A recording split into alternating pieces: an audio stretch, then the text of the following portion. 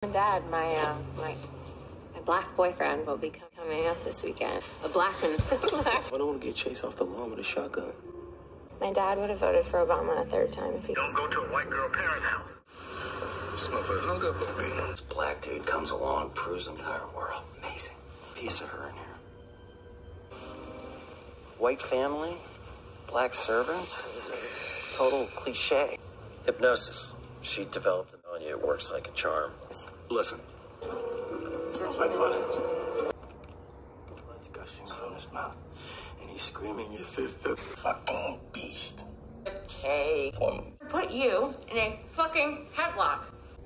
I told you so. And mind my own business. I think your mom hypnotized me last night. I can barely remember anything.